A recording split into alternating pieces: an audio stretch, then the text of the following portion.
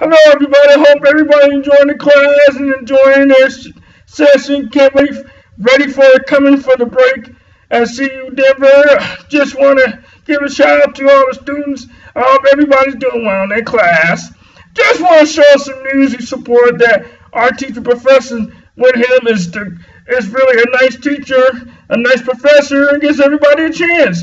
Just want to report on this news today that we at uh, remember Thursday the 20th, there's no class, as Professor says. So I just want to get back to this news.